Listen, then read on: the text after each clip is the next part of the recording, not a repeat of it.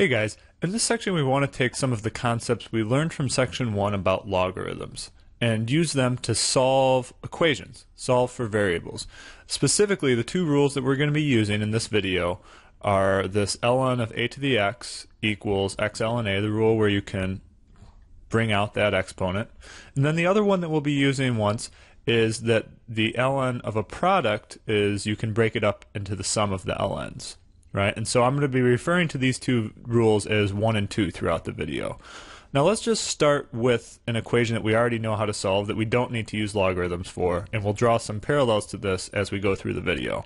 If we had an equation like this, we'd simply subtract 2 from each side, get 5x equals 10, and then x is still kind of stuck with this 5, but to get rid of the 5, we can just divide each side by 5, right? And so we'll get x equals 2. So this is an equation where we don't need logarithms. But let's look at one where we are going to need logarithms and kind of figure out why.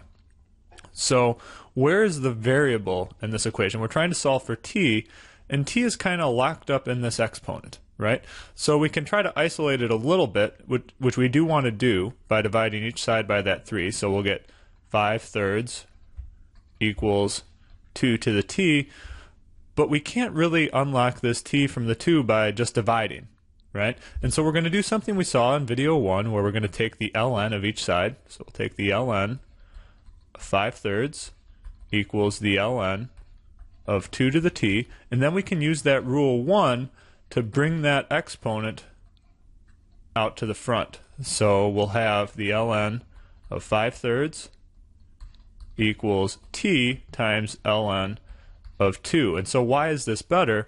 Well, now this is kind of like that equation we had up here, right? When we had 5x equals 10, we have t times some number equals some number. Remember that these ln's are just numbers.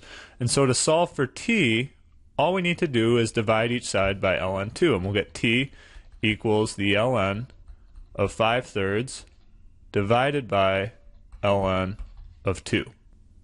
And so if you type this into your calculator, you'll see that t is about equal to 0.7, oops, sorry, 0.737.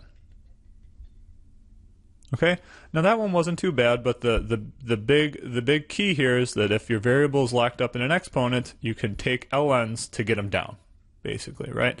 Let's look at one that's a little bit more involved.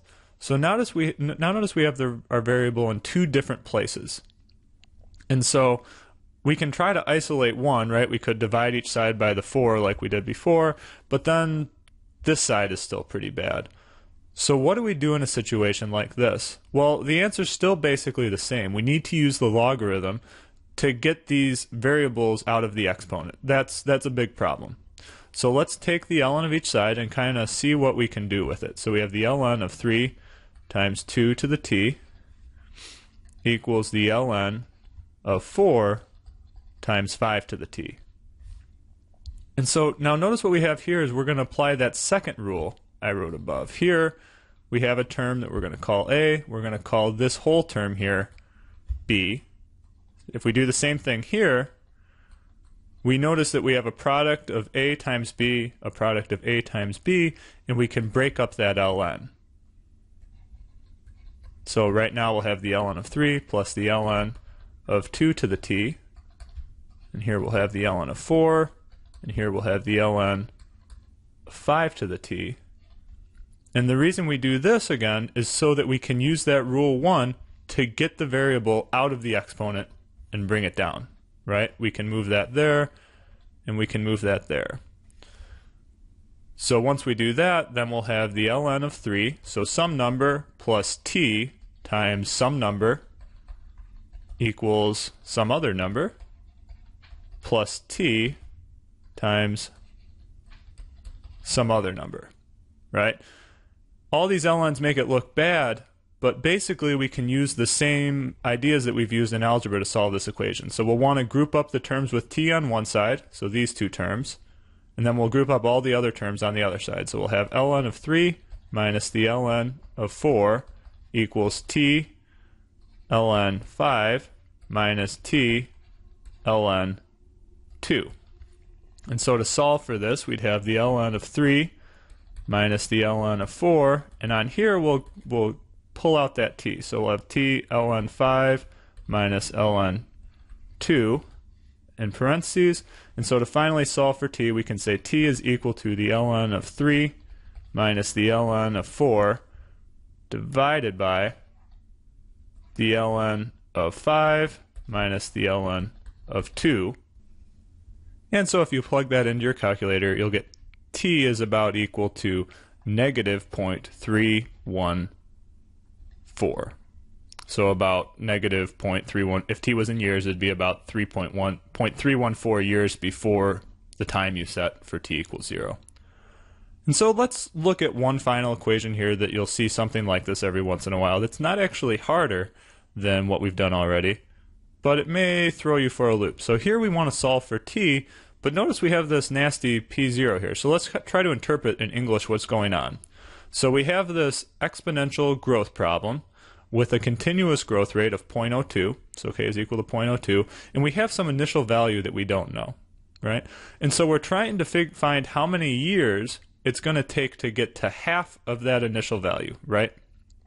And so, you know, understanding what's going on is good, but when it comes down to the algebra, let's kind of try to apply the same concepts we applied in in example 1. So we're going to try to get this thing all by itself. So the way we do that is we would divide each side by p0. Right?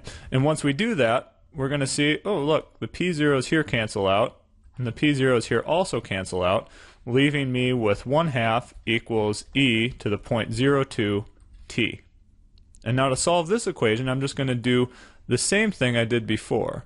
I'm going to unlock my exponents by taking the ln of each side. So I'll take the ln of 1 half equals the ln of e to the 0.02t. And now because of rule 1, this whole exponent is going to come out to the front. And I'll have the ln of 1 half equals 0.02t times the ln of e. And now, if I didn't if I didn't understand what the ln of e was, I could just divide each side by 0.02 times the ln of e, and I would get t equals the ln of 1 half divided by 0.02 times the ln of e. And now, why is this writing a little bit too much? Well, the ln of e, as we actually learned in video 1, is just 1, so we'll have t is equal to the ln of 1 half divided by 0.02.